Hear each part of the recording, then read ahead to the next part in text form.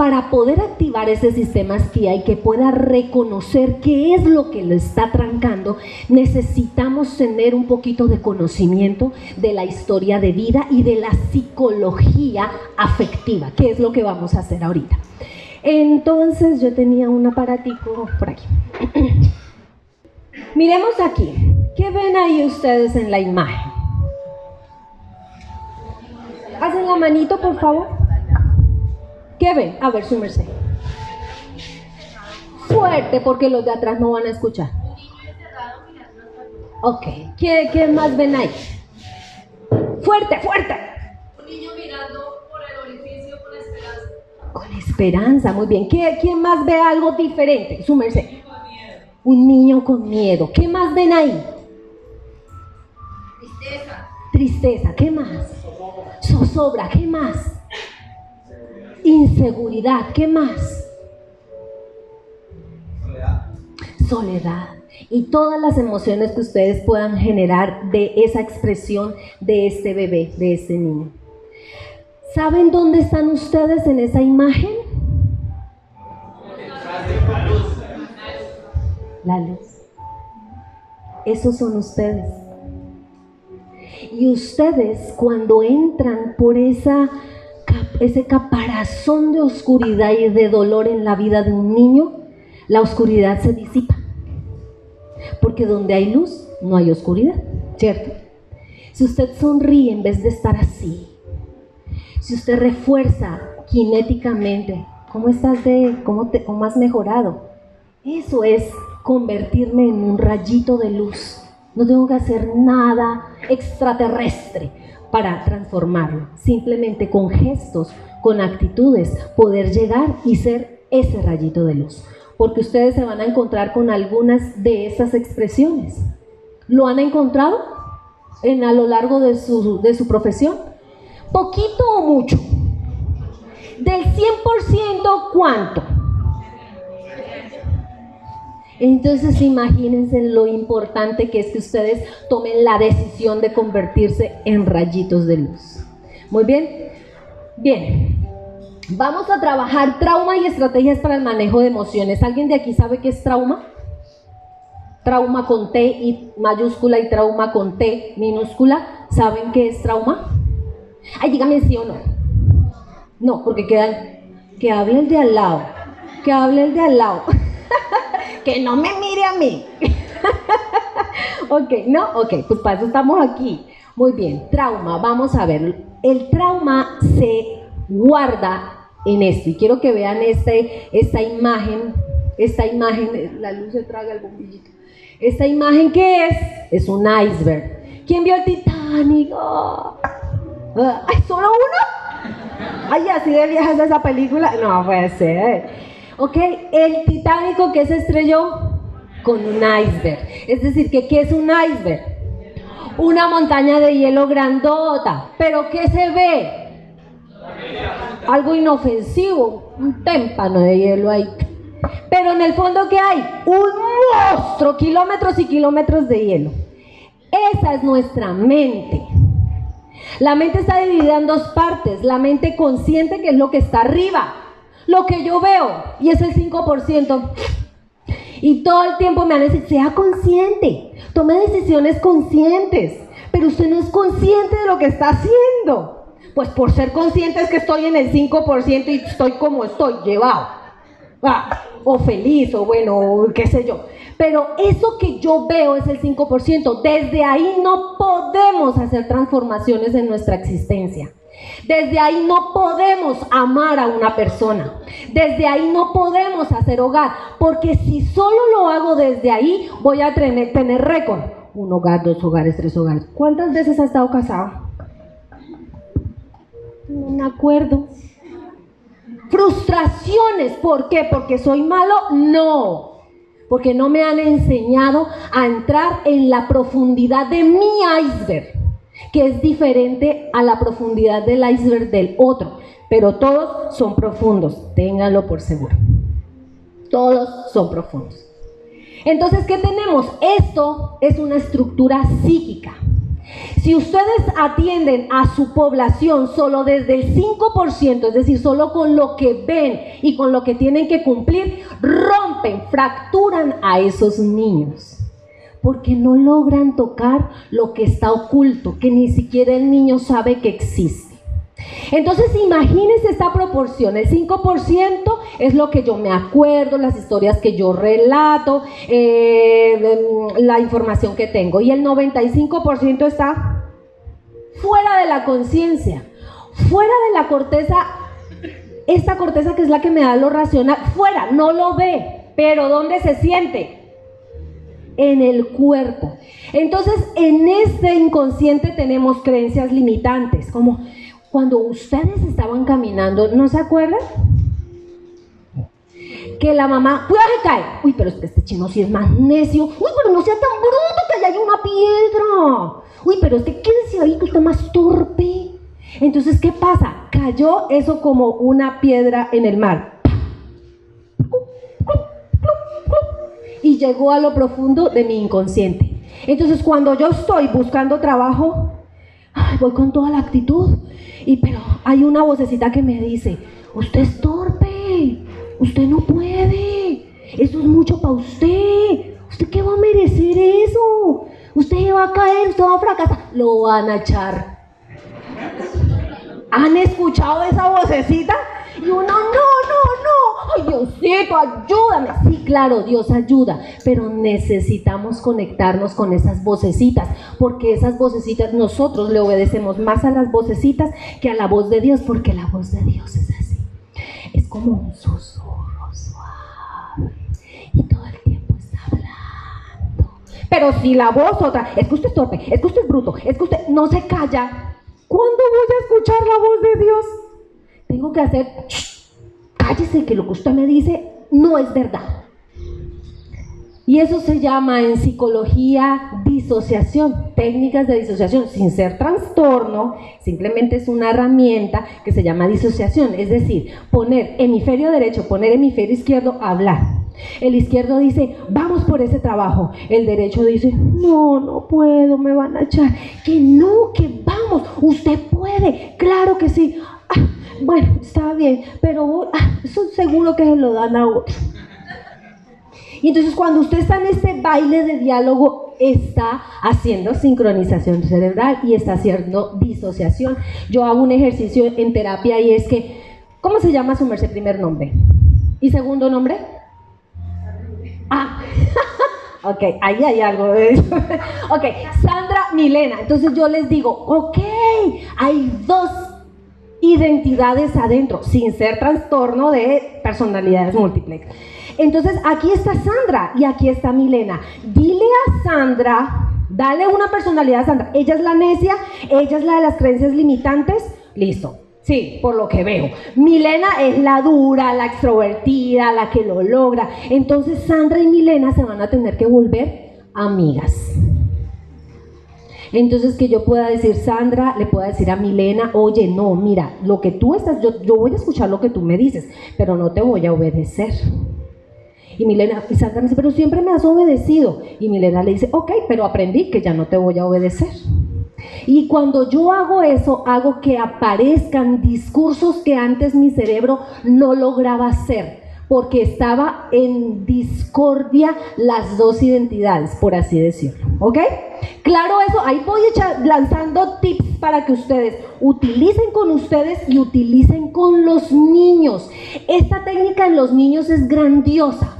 Porque los niños empiezan a pelear. Es que, es que Manuelito es un tonto y él a toda hora le pegan. Y Manuelito, pero es que tú no me proteges, tú tienes que ser más fuerte. Ellos empiezan a tener el discurso y encuentran muchas veces la solución del conflicto emocional. Ellos. Porque la sabiduría del ser humano está adentro. Lo que pasa es que si hay pelea entre los dos, no se va a encontrar. Entonces necesito un externo para que me ayude. Para que me diga lo que yo ya sé adentro de mí. ¿Listo? Muy bien. Entonces tenemos, eh, dependiendo cómo me hayan concebido, si mi papá y mi mamá, eh, si mi papá abusó de mi mamá, mi mamá en algún momento quiso abortar, pues imagínense las sensaciones que quedan en mí. No acepto la vida, me deprimo, no me siento amado, siento que me rechazan, siento que ninguna mujer o ningún hombre es para mí, la vida es de estar solo, la soledad es mi compañía, yo odio la soledad. Ah, un discurso que no para, no para, y eso agobia. Y entonces ahorita se nos están disparando los casos de trastorno de ansiedad generalizada, ataques de pánico. Me siento desesperado, siento que me voy a morir, el corazón se me acelera. Claro, el cuerpo le está diciendo, ya basta, basta de tantos pensamientos que lo lastiman, basta. El inconsciente se saturó Imagínense, tenemos la capacidad de saturar esa bodega tan grande que tenemos. Tenemos la capacidad de saturarlo. Ok. Claro, consciente e inconsciente. Claro, cómo vamos, una de las técnicas que van a manejar para ustedes y para los niños para que haya ese reprocesamiento de información entre el inconsciente y el consciente ¿Sí? Si no hacen la mano, por favor, porque no importa que no abordemos toda la temática, pero con que queden algunas técnicas claras para que ustedes puedan poner en práctica, es más que suficiente, porque con eso ustedes van a ayudarse a ustedes y ayudar a los niños, ¿ok? Ok, vamos a ver qué es la definición de trauma. Según la Asociación Americana de Psicología, sus siglas en, les voy a decir, el trauma es algo que llega de manera inesperada. ¡Wow! Ahí ya hay un trauma con T pequeña. Y ella hace una descarga mm, física. Hay químico por el torrente sanguíneo. Se disparó el cortisol. Amígdalas cerebrales empiezan, oh, la van a matar y tienen que correr. Los músculos se fortalecen. Oh, huida, huida, me paralizo o acciono. Estas son las, las dimensiones del miedo. O salgo corriendo, oh, me paralizo, ay, no me puedo mover. ¿O qué le pasa? A mí no me pegue.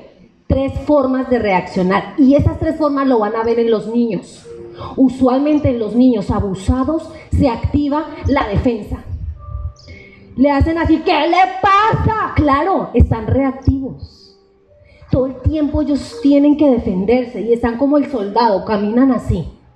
Caminan así. Así son los niños abusados. Entonces si yo le digo, deje de ser agresivo, a mí me... El chiquito dice, hmm, pues más violencia le voy a dar a este. Y empieza el juego de poder y no conquista ese corazón. Perdió la posibilidad de usted ser el rayo de luz para esa oscuridad. Porque no reaccionó. Entonces el trauma es, va, descarga de cortisol. Ella decidió quedarse y decir, ¡Ah! Me someto porque si salgo corriendo daje tacones y de pronto me entierro en el pasto, entonces me quedo aquí. Es decir, llegó de manera inesperada, no pude reaccionar y me quedé atrapado en unas descargas químicas. El niño cuando lo abusa sexualmente el papá, necesito ayuda, pero si me voy, ¿quién me da de comer? Entonces, ¿qué pasa con su sistema? Dice, quédate, quédate con dolor, pero quédate. Entonces cuando el papá viene y lo el sistema empieza otra vez a descargar el cortisol, ay, otra vez. Y los músculos guardan la tensión, los, el, sistema olfativo guarda el olor, el, sistema eh, auditivo, las terminaciones de los temporales guardan los sonidos, el cuerpo, las células, la piel guarda la temperatura, la presión, los colores de la sábana, los colores del techo. Entonces cuando ese niño entra a un salón y ve una cortina roja, algo pasa en él que no sabe. Pero algo pasa en él, entonces no se puede quedar quieto en el en el puesto, se tiene que estar parando, tiene que estarle pegando al otro. El cuerpo le está diciendo, ayúdame porque hay algo en el medio que me está alborotando mi cortisol. Pero ¿qué hacemos con esos niños? ¡Siéntese! ¡Observación! ¡Matrícula! ¡Voy a llamar a su papá! No, mi papá no, mi papá no. Pues claro que no, porque él es el que está generando la violencia. ¿Qué pasa con ese niño? No puede. No puede con sus emociones, no puede con su descarga química, no puede tolerarlo. Entonces cuando se vuelve adulto, ¿a dónde va ese niño? A las calles, a consumir. Miren, las, las personas que yo atiendo con consumo, yo quiero dejarlo, me dicen llorando, yo quiero dejarlo, pero es que si lo dejo el dolor vuelve otra vez tan fuerte. Es una forma de calmar su dolor, de huir de esa dimensión que no pueden controlar. ¿Y cómo hacemos para que un ser humano no llegue ahí? Ser rayitos de luz. Ser rayitos de luz, no importa que no aprenda lo que tenga que aprender en ese periodo, pero que ustedes vean que emocionalmente aprendió a sanar. Eso es una de las misiones más grandes que ustedes tienen. Entonces, el trauma con T pequeña o T grande, T pequeña, ¿qué es? Pues los traumas que uno va corriendo y le sale un sapo. ¡Ay! Entonces después, no, yo veo un sapo y no, ay, fuchi. O esos son los traumas con T pequeña. O que me estoy tomando un café y me quemé labio y me salió una cosa aquí. Trauma con T pequeña una descarga química, pero no atentó contra mi supervivencia.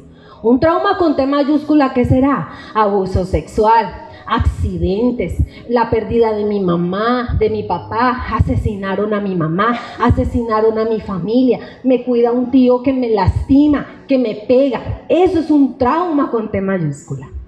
¿Claro? Es importante que ustedes tengan ese concepto para que cuando ustedes vayan allá vean dónde está el trauma. No vean al traumatizado, no lo rotulen. Identifiquen el trauma, que es otra cosa. Es decir, identifiquen las experiencias traumáticas para que ustedes se conviertan en rayitos de luz. Muy bien. Una persona con trauma se puede sentir abrumada entonces, todo le fastidia, que le hablen le molesta, que lo toquen ni que decir, se aísla del grupo, prefiere la introversión y está con pensamientos intrusivos todo el tiempo. Pensamientos intrusivos es que no quiero pensar en eso, pero pienso en eso todo el día. ¿Se les ha pasado? Tengo, eh, un, ejemplo tonto. Se me va a vencer la factura del teléfono. Ay, Dios mío, ¿se le va a vencer? se le va a vencer la factura del teléfono y no tengo plata. Pensamiento intrusivo. Y ahora, como estoy aquí, me están hablando del trauma, un rayito de luz, y él está pensando, no, y ahora la plata para el teléfono. Usted es la misión más Y él, no, y el teléfono si me lo cortan, y ahora yo cómo hago si me llaman, cuando me llamen a firmar el contrato y si yo no tengo la línea activa, entonces cómo voy a hacer, y entonces voy a perder la oportunidad, y ahora a quién le digo, a mi cuñado, pensamiento intrusivo. Me aísla de mi, aquí y de mi ahora, me quita la posibilidad de un aprendizaje. ¿Por qué? Porque mi atención está en la rumiación de ese pensamiento. ¿Claro? Y los niños con trauma tienen esto todo el tiempo.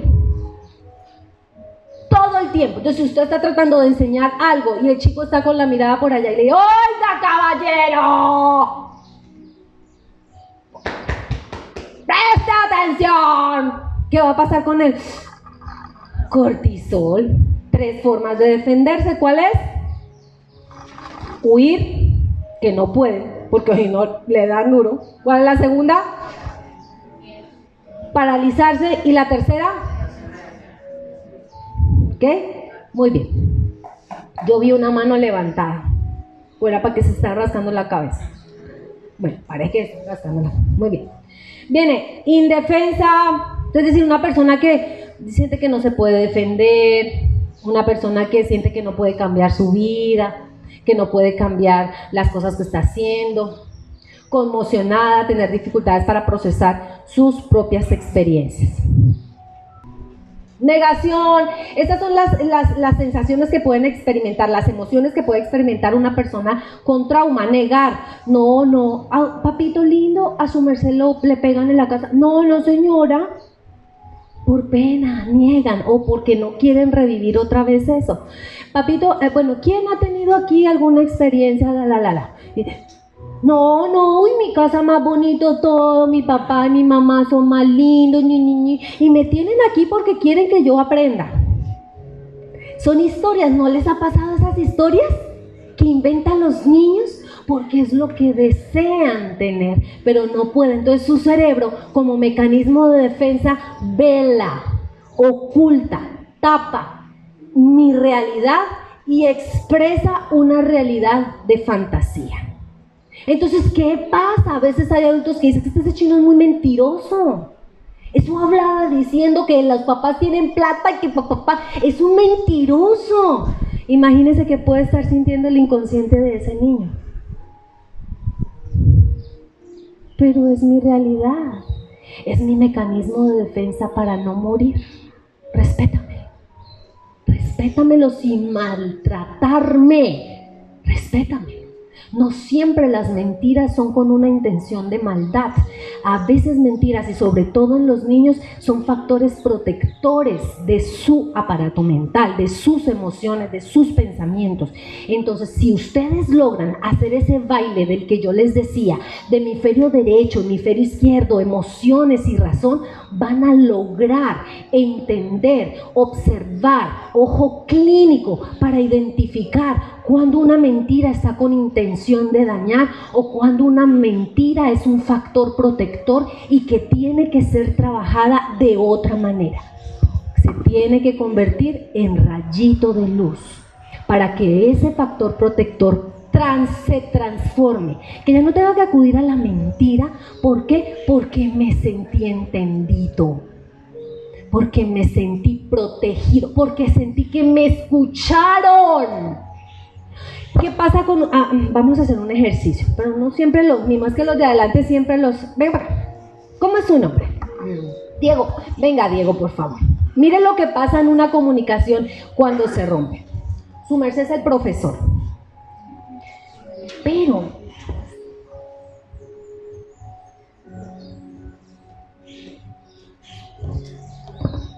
Yo soy la estudiante. ¿Listo? Profe, ¿cómo está, profe?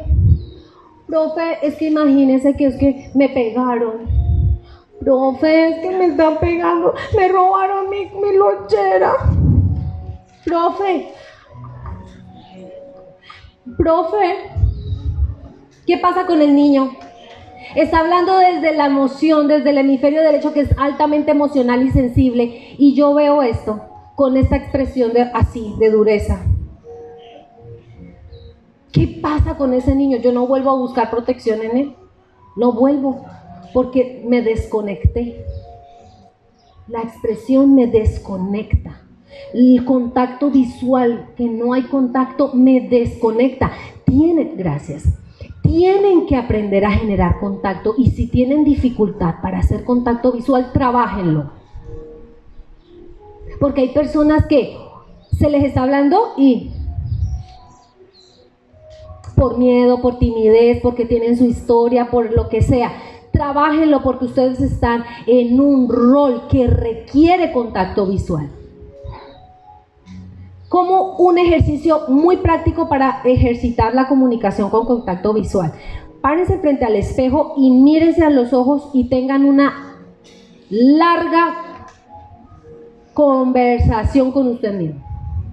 Mire, Andrea, ¿cómo está? Ay, hola, Andrea, Oiga, se está como subiendo de peso. Yo no, sí tengo que hacer un ejercicio. Mire qué tal cosa. Oiga, pero si tiene cabello largo y está haciendo como calor. Sí, hombre, y se me quedó el caimán. Entonces tengo calor. Lo voy a ofrecer porque ya no puedo hacer nada. Entonces voy, estoy hablándome. ¿Sí? Háganlo, pero sin quitar. Porque si yo empiezo, ay, Andrea, no, no funciona. Tengo que hacer contacto visual. Y cuando alguien me esté hablando, oh, a ver, el ejercicio, contacto visual, contacto visual. Sí, ah, bueno, entonces, sí, ah, sí, ah, ay, bueno, sí. Y ustedes solo, todos solo escuchen. Y usted no, no pierda el contacto visual. Ahí, ahí, ahí. Ay, pues pucha, ya quiero mirar para el otro lado. No, pero mi ejercicio estoy en contacto visual. Estoy en contacto visual. ¿Sí? Háganlo. Ya después eso va a ser de manera natural, porque lo que se hace frecuentemente se convierte en un hábito y lo que se convierte en hábito a veces se vuelven cualidades y lo que se vuelven cualidades no solo me enriquece a mí, sino enriquece a los que están a mi alrededor. Qué maravilla, ¿cierto? Ese proceso. Pero tengo yo que identificar primero qué es lo que tengo que fortalecer y qué y cómo lo voy a hacer para hacerlo frecuentemente. Tristeza, vergüenza, confusión, ansiedad, depresión, entumecimiento. El entumecimiento son aquellos niños que se ponen a hacer, ustedes dan clases de física, educación, ¿no? ¿Hacen algún ejercicio con los niños de movimiento? Ustedes han visto que hay niños que vamos a hacer eh, ejercicios de equilibrio y empiezan, no pueden. O vamos a hacer ejercicios de lazo, a saltar. No pueden. Ojo, porque el trauma trae desconexión en la coordinación. Entonces, eso es un, algún aspecto para observar. Observar. ¿Listo? Por allá escuché, ay, entonces yo estoy traumatizada porque yo no por No, no siempre es así, pero hay que observar en los niños eso. Culpa, desesperación, irritabilidad, dificultad para concentrarse. Si es, si es el niño que empieza a llevar su mirada al techo y usted hablando por allá, no lo regañe, busque contacto kinético. ¿En qué piensas? Mira para el tablero, ya. Nadie se tiene que enterar que él está botando pajaritos en el aire, nadie, solo él y yo. Si quiero ser rayito de luz para ese Si lo veo distraído, simplemente me acerco y le hago, ya, ella sabe. Ya, su mente hace. Eso es una cosa increíble. Eso. Las conexiones y enfoca otra vez la atención en el estímulo. Si se vuelve a ir, pues le volvemos a hacer. A ver, ¿cuánto, cuánto gastamos haciendo esto? ¿Millones? No, nada, nos sale gratis. Háganlo que eso puede ser una ayuda terapéutica para el niño. Me siento tocado con respeto, me siento reconocido, no soy uno más del grupo. ¿Quién de los que están aquí que cuando van a una conferencia ni siquiera el conferenciante se acerca para mirarlos a los ojos y salen y sienten que una sensación de tristeza, pero ¿por qué? No sé, pero sí sabe. Y la mente le dice, no te miraron nunca.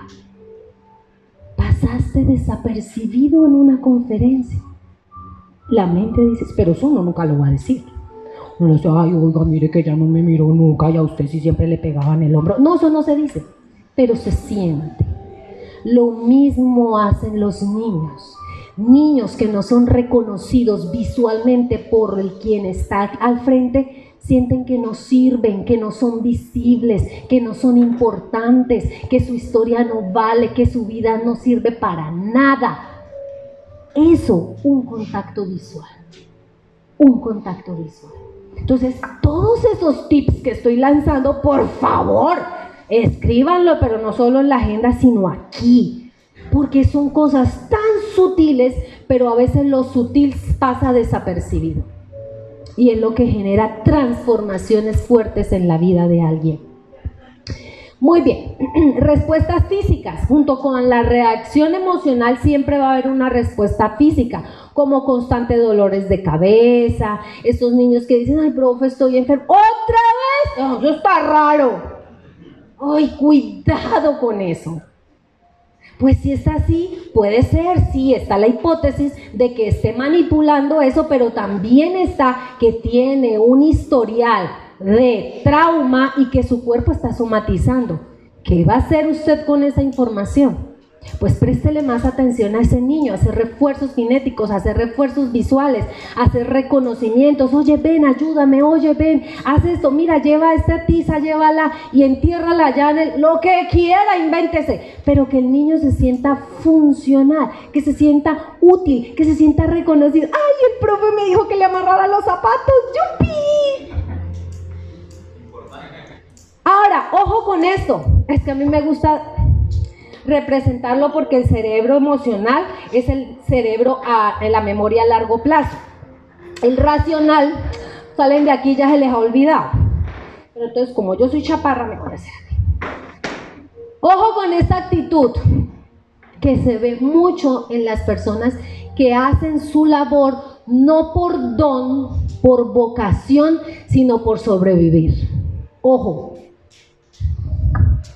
Allá usted, Va a traer un vaso de agua. Juanita, Juanita, Juanita, vaya hágame el favor y diga al profesor que me envíe unas tizas. Bueno, un marcador que ya tizas no ustedes. Oiga, recoge ese papel. Oiga ya, oiga usted, ¿cómo es que se llama? Venga, venga. Ojo con eso. Porque ese papel de autoridad, de papá autoritario, mamá autoritaria, no sana, destruye. Recuerden, estos niños no vienen de hogares donde ellos fueron amados, protegidos, deseados, donde sus papás no se quieren despegar de él, o son niños que perdieron su familia, que perdieron esa protección. Y si ese niño ve el...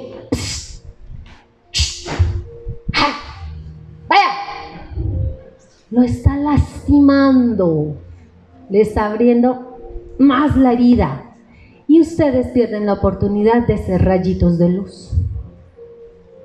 ¿Sí?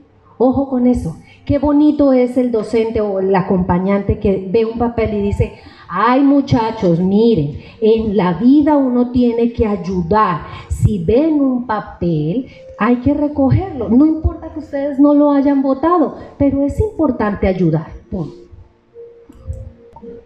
¿Ok? Entonces, si ustedes quieren aprender valores, muéstrenlos. Ay, yo hablo cátedras de respeto, pero hago... ¡Ey! ¿Cómo es que se llama usted? Lo primero que ustedes tienen que hacer cuando lleguen es conocer a sus estudiantes. Nombre. Apréndanse el nombre. Nombre. No apellidos. Hay, hay docentes que tienen la costumbre, allá usted Rigo, un apellido, Ruperto, allá usted Rodríguez, allá usted eh, Céspedes, allá usted Mendoza. algo militar. Ojo, ustedes son rayitos de luz y no hay nada más bonito que a uno le digan Milena, Juana, Andrea, Sofía, Cristian, venga, ayúdeme aquí. No hay nada más eso es como melodía. El cantador de serpientes, sí señora. Lo más lindo que hay es que el que está aquí adelante se acuerde de mi nombre, eso es lo más hermoso. Ahí empiezan a ser rayitos de luz. Con algo tan sencillo. Van a recibir el refrigerio, por favor se queden ahí en silencio disfrutando ese delicioso refrigerio. ¿Listo? Muy bien. Entonces, ¿qué otras cosas eh, físicas? Síntomas digestivos, fatiga, dolores musculares. Una de las reacciones del trauma es que yo siento cansancio frecuentemente y tiendo a quedarme dormido en donde me siente. Por allá alguien, ¡ay! si eso nos pasa a nosotros, bueno, por cansancios acumulados o qué sé yo, pero en los niños cuando se presenta eso es porque la maleta emocional está muy pesada, muy pesada. Y es tan pesado, mire, cuando una persona empieza a hacer reprocesamiento a nivel emocional, lo primero que siente a nivel somático es que la espalda se le vuelve pesada. Ahí uno sabe como terapeuta que el marcador biológico está fuerte. Hay un trauma profundo con T mayúscula. Hay que explorarlo. Si sus niños se cansan mucho, se duermen, no los regañen. Conversen mucho con ese niño.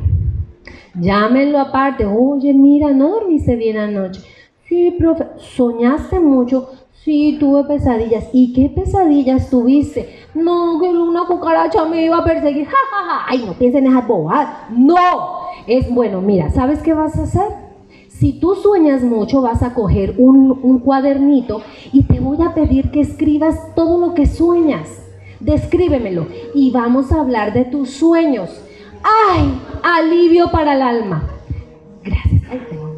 Alivio para el alma. Le dio usted una forma para que el niño ayudara a sanar algo que no sabe qué es. Simplemente él dice, sueño mucho. Hay niños que tienen muchas pesadillas, Muchas pesadillas. Sueñan que otra vez los están abusando, que los están golpeando, que su mamá apareció y se volvió a ir, que lo abandonaron, que los dejaron en un potrero aguantando frío. esas son sus pesadillas. ¿Cómo no van a estar cansados al otro día? Entonces, si se duerme es, ok, bueno, está bien. Entonces, hazme el favor y escribe, porque de eso vamos a hablar. Solo con que usted le diga, de eso vamos a hablar, el niño se siente que, ay, van a compartir este peso tan duro que llevo yo, me lo vayan a ayudar a, cargar. ¿Sí? ¿Sí ven la diferencia? ¿Logran ver la diferencia entre cosas tan sencillas que yo puedo hacer? Están haciendo terapia. Con esas cosas tan sencillas están haciendo terapia en campo, ahí en acción. Ya después ustedes mirarán si buscan apoyo de un especialista, si lo remiten, pero antes de remitir, siempre busquen ser rayitos de luz. A veces un proceso psiquiátrico, psicológico se puede prevenir si el que identificó mi trauma me ayuda a sentirme amado, aceptado, protegido, que tengo a alguien en el mundo que me ve con ojos ah, de amor. No más, eso es lo que busca el ser humano. Por eso el ser humano se pone mal, se enferma, por eso se deprime, por eso le da ansiedad, porque se siente solo en el mundo, porque no se siente comprendido, porque mira hacia atrás y toda su vida ha sido de lucha, de dolor, de pérdidas, muy poquitas ganancias, muy poquitos triunfos. Y entonces yo cuando miro atrás digo, no, pero ¿para qué la vida? Y aunque no atento contra mi vida, el pensamiento está ah, mejor morirse, uno para qué está aquí. ¿Nunca les ha pasado eso? Y que ni les pasa. Y si les pasa, pues observen qué es lo que está pesando, qué es lo que está ah, quitando esa energía vital para vivir. Muy bien, aceleración del ritmo cardíaco. Taquicardia, lo que llamamos nosotros. Eso lo produce el trauma. Un trauma con T pequeña o un trauma con T mayúscula. El sentirse nervioso, sudoración. A veces una persona también experimenta hiperexcitación, que es la sensación de estar en alerta constante. La hiperexcitación es, por ejemplo, un niño que no puede estar sin hacerle daño al otro. ¿No han tenido esos casos? Pasan y le hacen... Mm, ¡Ay, este chino me pegó! Démelo, el jugo, démelo, démelo démelo y no usted va a ver. Hmm, en la noche no, que me lo dé. Empiezan a intimidar. Eso es, a, eso se refiere. O que dicen, ¿qué, profe? Vamos a jugar hoy un partido de verdad, pero así, desafiantes. Eso, entonces, si yo dejo que el, la autoridad, este chino no me va a mangonear, este chino que va a saber quién es la autoridad, y me posiciono ahí, pierdo. Pierdo, me engancho. Por supuesto, tiene que haber una figura de autoridad, pero la autoridad también debe tener, ese es el baile. Izquierda, autoridad, derecho, amor. Izquierda, autoridad, derecho, amor. Y es un vals que ustedes van a bailar. Y van a saber en qué momento tienen que ponerse así y en qué momento tienen que ponerse así. Lo van a sentir, pero tienen que sincronizar sus cerebros. Acuérdense cómo, cómo lo sintieron.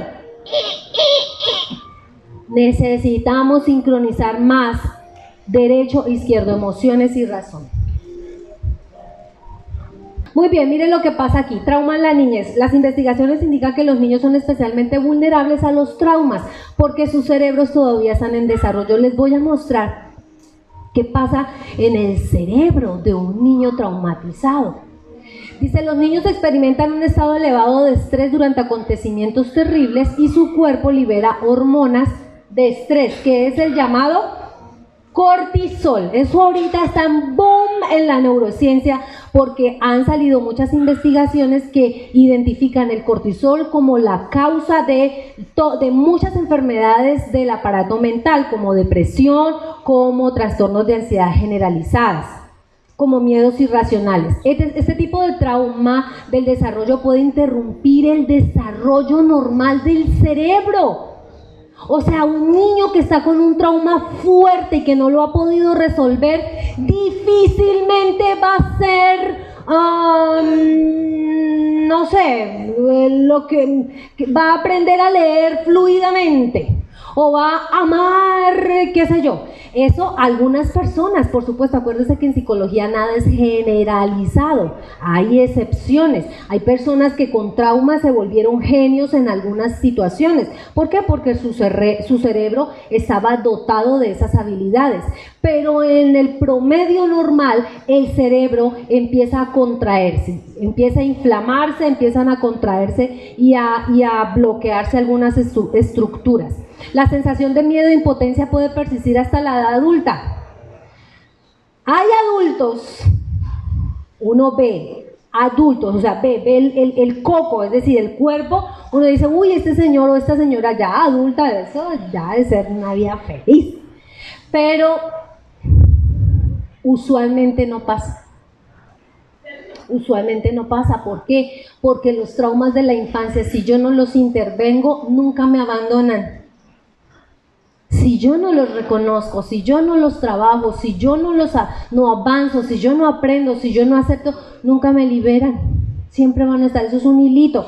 A donde yo voy, ahí va mi niña interior. A donde yo voy, ahí va mi niña interior. Si mi niña interior fue, le cascaron, le dieron, le ponían los ojos morados, eh, eh, amaban más a una hermana que a ella, le daban vestidos bonitos a ella y a esta no, le, el papá consentía a esta y a esa no, injusticia y desigualdad. Entonces, esa niña me va a acompañar. Entonces, cuando yo esté en una situación así, la niña toma posición. Pero ese ush, es porque la niña sintió que ella no me quería y que prefería a la compañera. Y entonces, ¿qué pasa? Ese trauma está ahí, marcando la relación con los demás. Y hay muchas caras adultas con niños internos muy heridos. Abusos sexuales nunca hablados. Ojo, es impresionante la cantidad de personas que llegan a consulta. Muy bien, taratata, y cuando empiezan a, es que yo nunca le he contado a nadie, ah, fui abusado. Abuso que no se ponga en palabras, no se borra del cuerpo. La sensación siempre va a estar generando alguna complicación en mis vivencias emocionales. Ojo con eso. Si ustedes tienen por vergüenza, por qué sé yo, nunca hablaron de que se sintieron mal tocados, mal mirados, que sintieron que alguien de la familia los manoseaba o intentó algo y que ustedes sintieron mucho miedo, háblenlo Hablen de eso. Cuando uno pone en palabras una emoción, por eso es importante que los niños hablen de lo que sienten, porque cuando yo hablo de lo que siento es como si abriera un tapón en un tanque y el agua empezara a drenar. Eso es lo que hace el lenguaje con un trauma. Cuando hablo de lo que me pasó, cuando hablo de lo que me duele, cuando hablo de lo que no me gusta del otro, es como una Ay, si han sentido esa, esa, esa, ese descanso cuando ustedes, por ejemplo, en pareja tienen algún conflicto y lo dialogan, ah, ya, pero si no lo dialogan, ahí lees el café. Y entonces se acuestan y espalda con espalda. Lejos, es si la cama es de dos metros, imagínense, dos metros si la cama es de un metro, pues apenas mejor dicho que toque el borde, pero que no me toque ni un pelo este tipo. Y es que me voy a separar, y es que es un desgraciado maldito, ¿a qué horas me vive? Hablan, pero venga mi hija, ¿qué es lo que le pasa? No, es que usted... No, mi amor, pero yo no hice eso con intención. ¡Ay, mi vida! ¡Ay, mi cielo! ¡Ay, pero ¿por qué no me dijiste? ¡Ah, se fue el odio! Se fue la rabia, se fue el dolor de cabeza. Mi amor, te preparo las pasticas que te gustan cuando diga, él el café. Eso es drenar el cortisol en el cuerpo. Entonces cuando yo hablo de lo que siento, de lo que me molesta del otro, dreno el cortisol. Hagan eso con sus hijos, con los niños que tienen a su cargo, que hablen de emociones. ¿Cómo se sienten hoy? Aburridos. ¿Y por qué? No, es ¿Están aburridos? Bueno, vamos a hacer que ese aburrimiento se vaya. ¿En qué parte del cuerpo lo sienten? como por aquí. Listo, vamos a levantarnos. Hacen los brazos, hagan esto, cojan la nariz así. La, la, la, Hablé de una emoción y me la ayudaron a transformar desde el cuerpo. Ahorita la neurociencia nos está diciendo que para llegar a la psicología y para llegar a la solución de conflictos necesitamos entrar por el cuerpo, no solo por el discurso, sino por el cuerpo. Es decir, que yo sienta, ay, me duele el hombro, ok, te está doliendo el hombro, ¿en qué número? De 0 a 10, 0 es nada, 10 es mucho. Dime en qué número te duele. Uy, yo nunca había pensado en eso. Hmm, como un 5. Ah, listo, ese 5. ¿Ese dolor tiene un color oscuro o claro? Uy, como un negro y como así fuerte y tal. O, es un color rojo, como sangre. O bueno, ¿y qué forma tiene? No, eso no tiene forma, es como una nube. El otro no, es una rueda. El otro no, es un triángulo. Ahí yo estoy haciendo. ¿Qué estoy haciendo? ¿Qué estoy haciendo? Ay, no me hagan hacer el oso en vano. ¿Qué estoy haciendo? Bailando. ¿Qué? Reprocesando en el niño que logre entrar al hemisferio derecho, que es color, forma, emoción, y que llegue al izquierdo, que es la razón. O sea, entender qué es lo que me está pasando. Ah, tengo un, color, tengo un dolor en 10, estoy en el izquierdo. Paso, pero es amarillo, es grande, estoy en el derecho. Ok, y entonces, ¿qué vamos a hacer? Vamos a movernos, me fui al derecho. Y entonces, ¿ahora qué sientes? Me fui al izquierdo. ¿Está todavía, está el color rojo? Sí. ¿En qué número está? No, bajó a 3. Ahí es, es ese baile. Hemisferio izquierdo, hemisferio derecho. Estoy haciendo terapia. Adivine qué pasa con esos niños. Ay, ese profesor es una machera. Esa profesora es lo más lindo que me ha pasado en mi vida. Que cuando tengan 50 años, ay, yo tuve una profesora, yo creo que ya se murió. pero es una profesora que me dio amor. Y no porque me estaba besuqueando, no, sino me dio amor en el trato, me hizo sentir reconocido, importante, me ayudó con los dolores emocionales que yo traía en mi casa. ¿Cómo la amo? Eso nunca se olvida. Rayitos de luz, ¿ok? Muy bien. Entonces, miren lo que pasa en un cerebro. Al lado izquierdo está un cerebro que muestra exceso de actividad cerebral. ¿Qué quiere decir? Que estoy en parloteo o en ideas intrusivas. Es decir, ay, Dios mío, ¿a qué hora será el almuerzo? No, pero yo tengo que salir temprano, no, y hoy, y el teléfono, no, mi madre, ¿cuándo será el contrato que van a firmar? ¿Será que van a pagar lo mismo que el otro año? Venga, ¿será que este año? No, venga, ay, pero, pero, ay, eso, sol, no me saludó, ¿y será que está brava conmigo? Dios mío, ¿será que no me van a dar contrato? ¿Será que está aquí? Ay, Dios mío, ahí, mire cómo tienen el cerebro si están así de parlanchines en su cabeza. Así está su cerebro. Riego sanguíneo a tope, ¡pum! Electricidad a tope, amígdala neurológica electrizada. ¿Cómo van a entender lo que yo les estoy diciendo aquí desbaratándome para que les quede en el hemisferio derecho lo que les estoy diciendo? Pues con toda esta actividad neurológica que tienen, paren esos pensamientos. hagan silencio aquí. Aquí. ¿Qué? Listo. Juan Felipe. Juan, estás hablando mucho. Felipe, yo quiero prestar atención. Juan, después solucionamos. Ahorita hablamos con Sol. Mire que ella está diciendo que el hablar tranquiliza. Pero es que no me miró. Tranquilo, ahorita hablamos, pero chito calle. Y pongo la atención ahí. Ahí, ¿qué pasa? Cerebro mostrando actividad normal. Eso se llama neurociencia, el silencio neurológico. Y ahorita lo vamos a experimentar porque necesito que ustedes lo sientan para que cuando estén allá lo hagan que esos niños también lo sientan.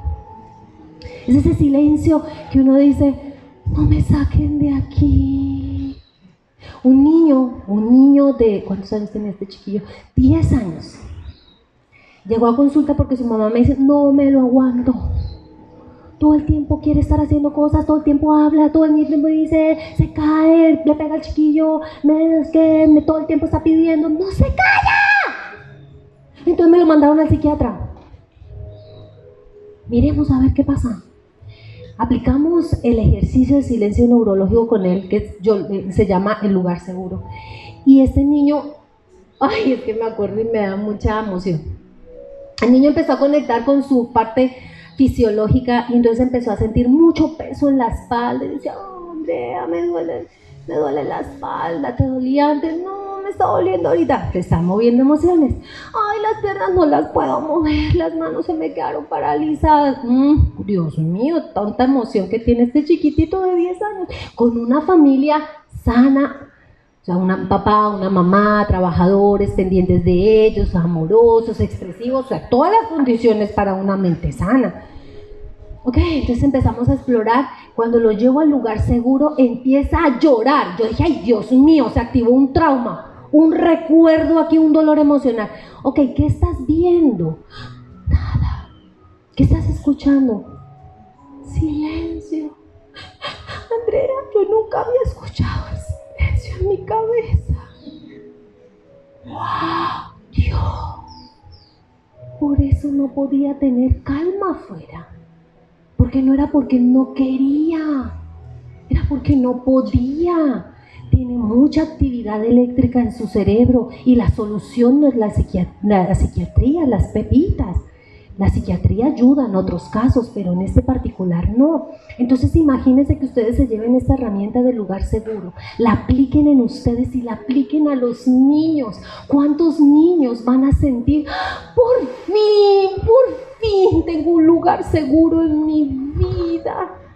Donde hay silencio, donde estoy protegido, donde nadie me lastima por fin. Y para el cerebro es lo mismo pensar que hacer. Es decir, si yo les digo aquí el famoso ejemplo que hay en la neurociencia, piensen en un limón, huelan el limón, el ácido del limón, imagínense que el limón lo llevan a la boca, disfruten el aroma, el, la textura, empieza a salivar, miren, ya salivé empieza a salivar, a ver dónde está el limón.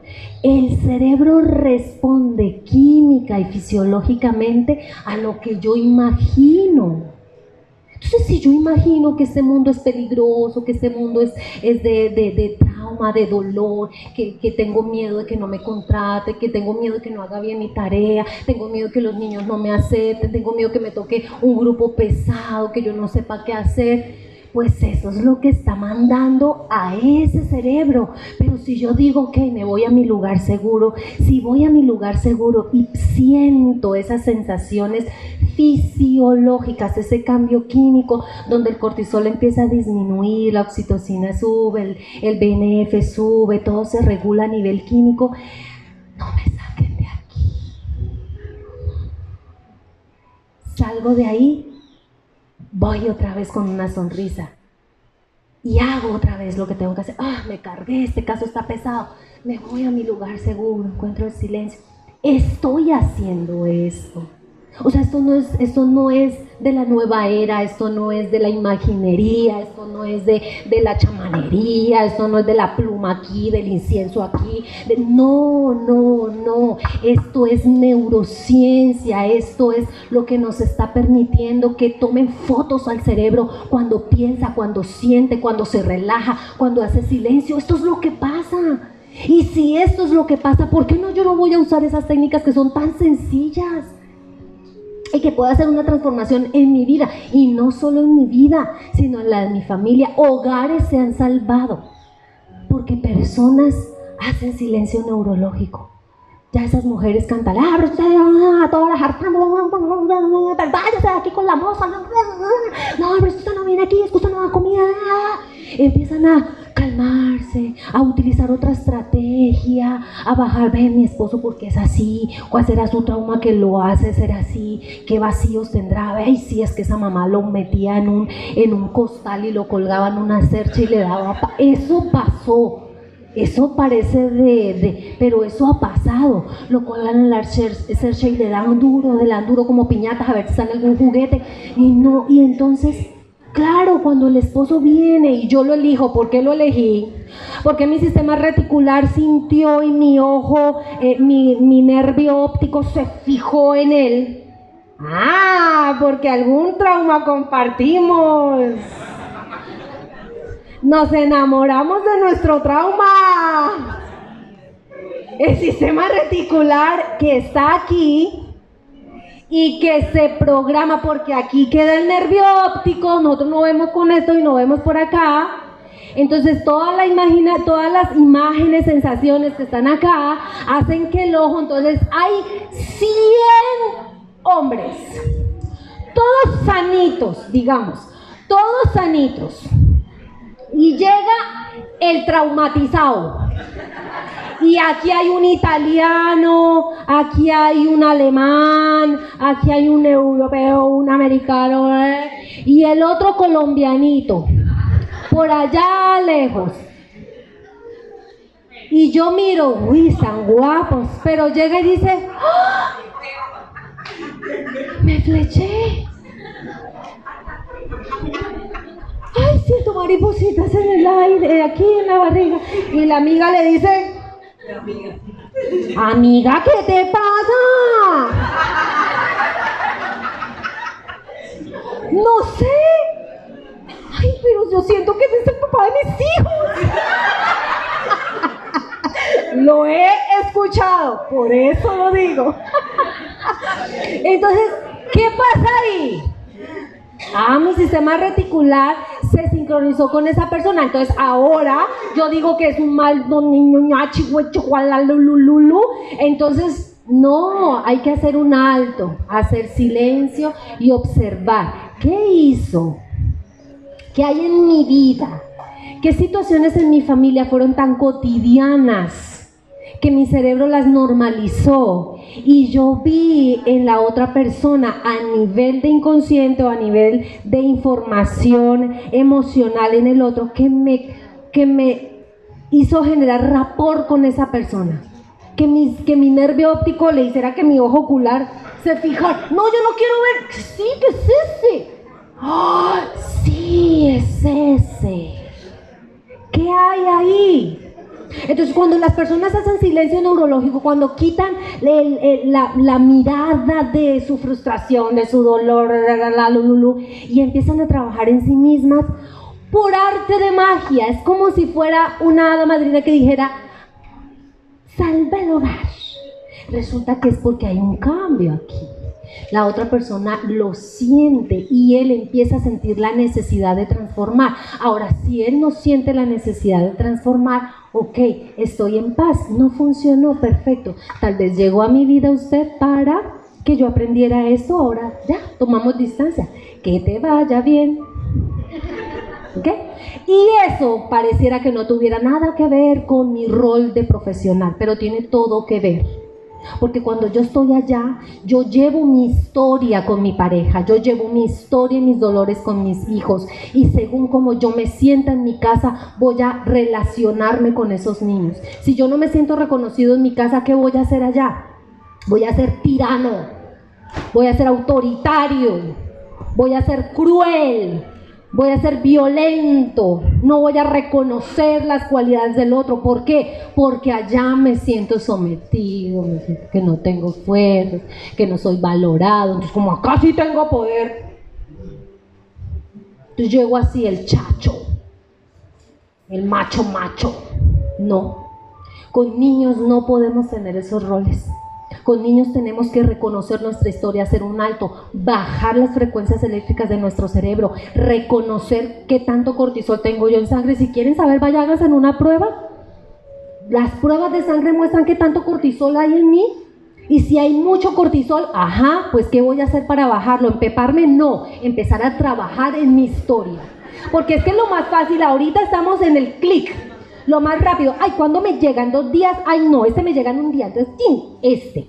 O sea, tenemos muchas posibilidades y queremos respuestas mágicas, soluciones mágicas. No, señor. En el crecimiento personal, espiritual, necesitamos templanza, necesitamos perseverancia, constancia, disciplina porque es que es transformar una configuración que desde niño pusieron en mi cerebro. Pero la, la gran dicha que nos da la neurociencia actualmente es que nos dicen, si usted fue así, si configuraron un cerebro ya eh, enfermo o con estructuras poco funcionales, podemos cambiarlo. Quien quiera transformar su historia de vida lo puede hacer, porque las investigaciones han demostrado que la neuroplasticidad nos ayuda a cambiar ese aspecto de mi personalidad que me hace, eh, que no me gusta, los demás rechazan en mí, lo puede cambiar. Esa es la buena noticia.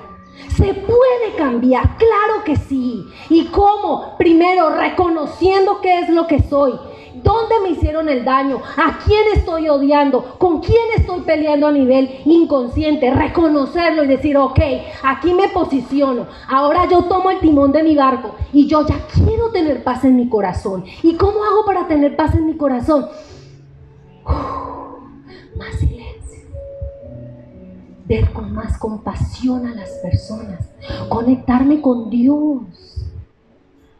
Yo no sé si todos los que están aquí son de fe. Pero la ciencia pelea con la fe, entre comillas. Pero hay una rama de la neurociencia que se llama neurociencia contemplativa.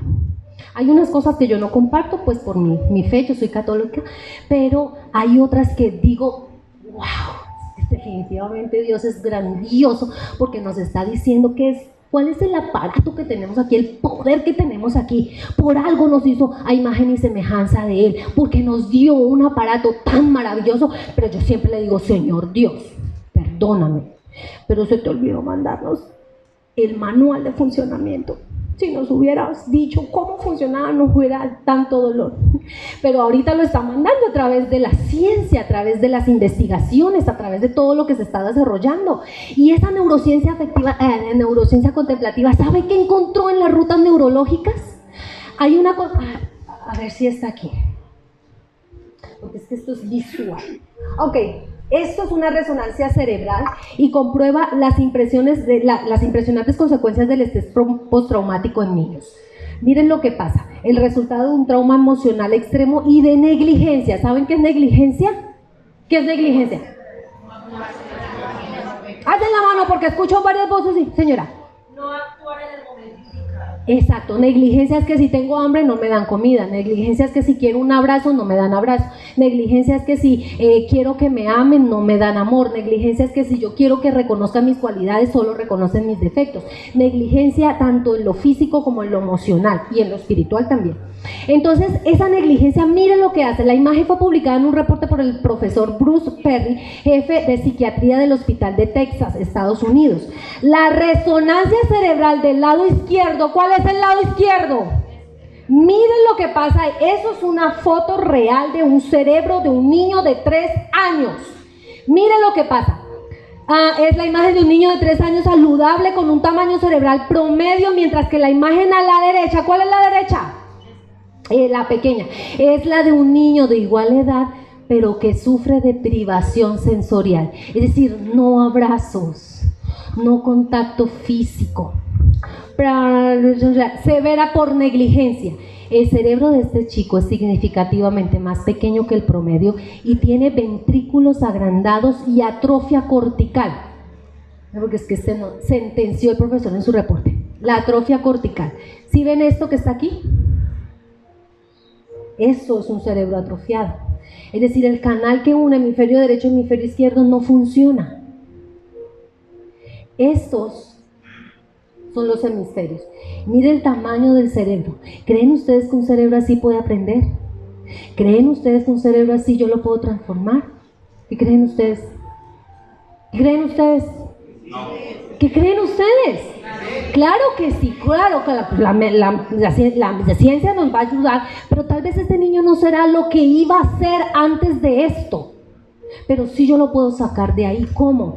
Dando lo que el cerebro no recibió, haciéndolo ser el rayito de luz. ¿Ves? Es que, es que el rayito de luz no es una metáfora eh, dulzona, azucarada, romántica, no. Esto, el ser el rayito de luz es esto, transformar cerebros, transformar estructuras fisiológicas que se ven representadas en las emociones, en el comportamiento, en la psicología. Esto es algo real.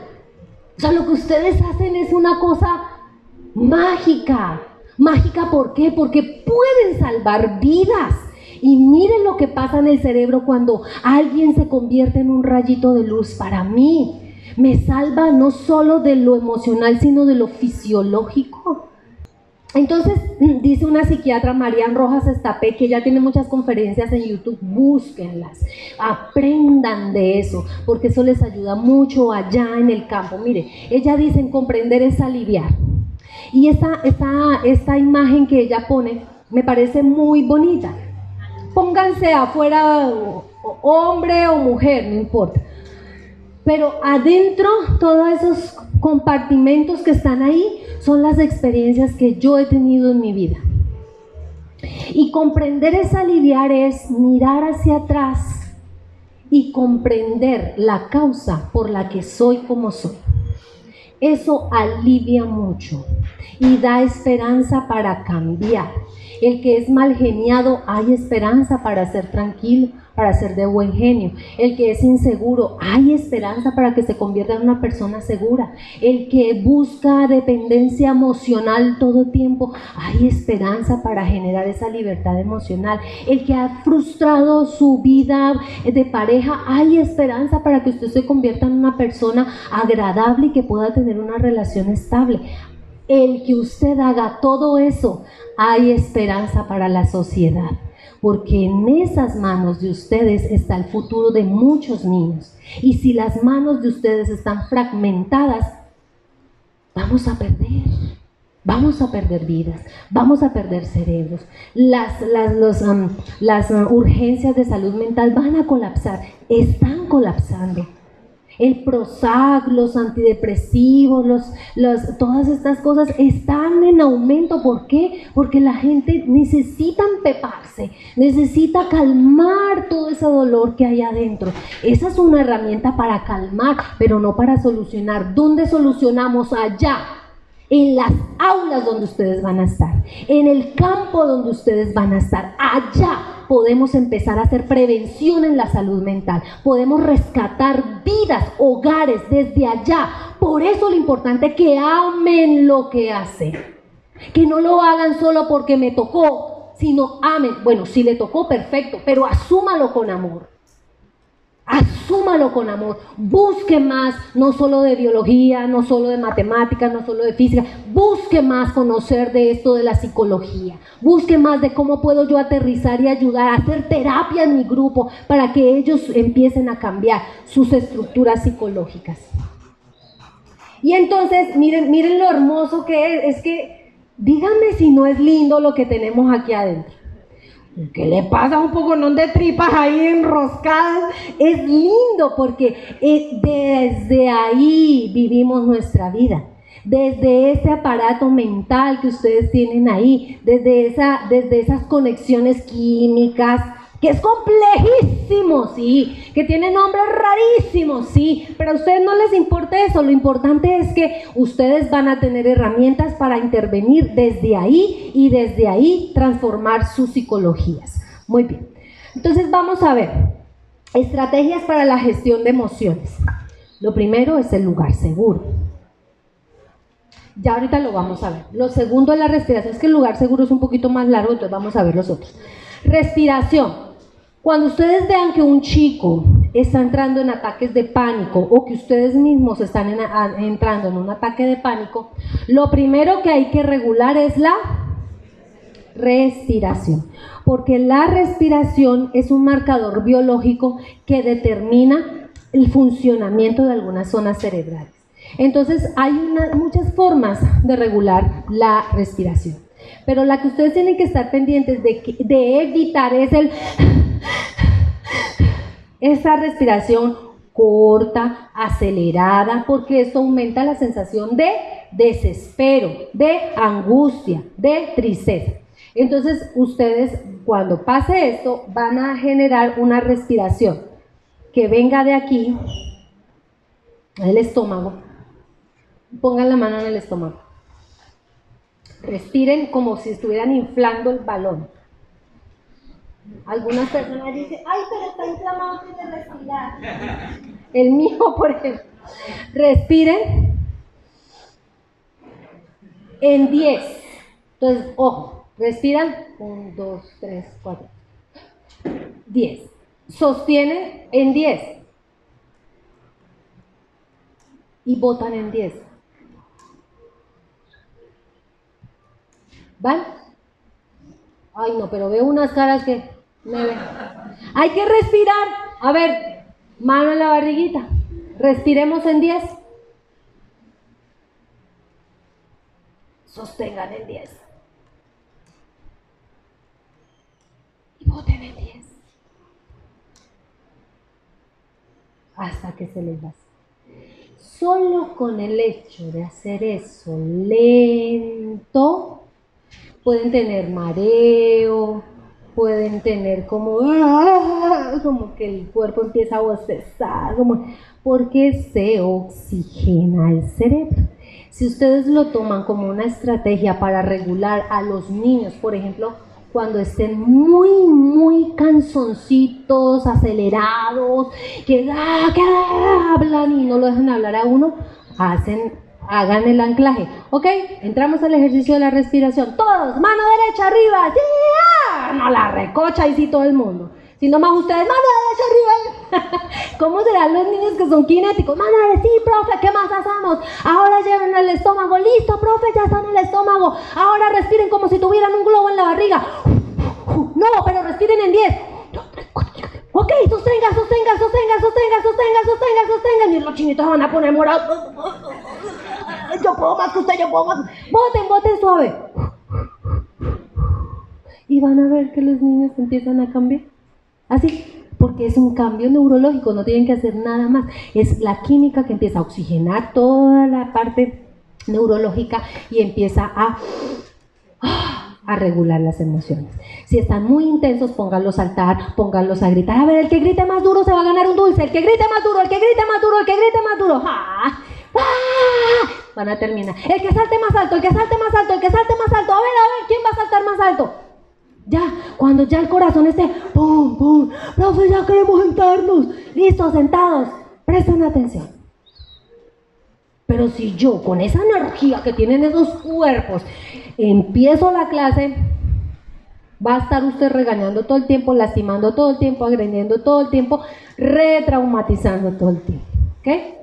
Entonces, ejercicio de respiración. Eso es un ejercicio para gestionar las emociones.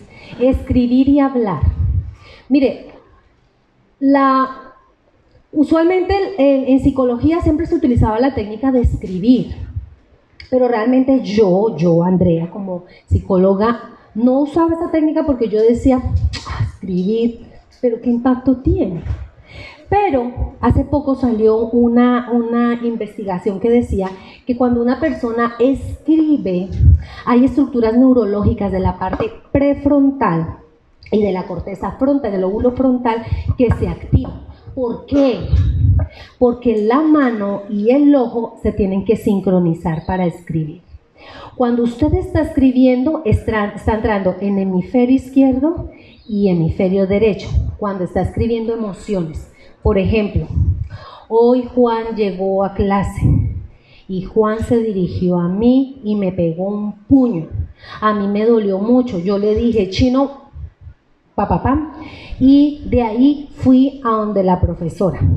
Y fui a donde la profesora para que ella me ayudara pero sentí más rabia y ganas como hasta de meterle un cuchillo a la profesora, porque no me miró, no fui escuchado. En eso el chico hace, no le metí el cuchillo, pero lo escribí, lo hablé, lo expresé, no quedó como un secreto en mi mente. Y next. El cerebro sigue, porque no se queda ahí. Sistema espía, ¿se acuerda? El sistema espía, el sistema de percepción de información adaptativa, no queda bloqueado. Uy, sabía, no, lo escribí. Entonces es como si le quitáramos la talanquera, el sistema de percepción sigue escaneando y empieza a sentirse más tranquilo, más tranquilo, más tranquilo. ¿Ve? Cuando escribo